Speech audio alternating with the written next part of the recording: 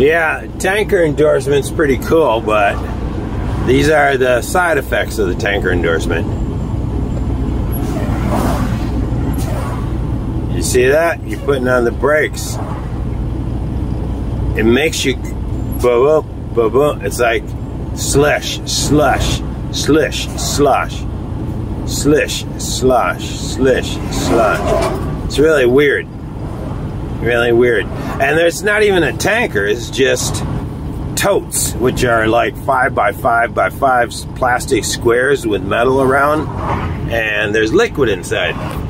And a few years ago, you didn't need a, you know, tanker endorsement, but I guess a bunch of these foreigners or whoever came over, got these. Uh,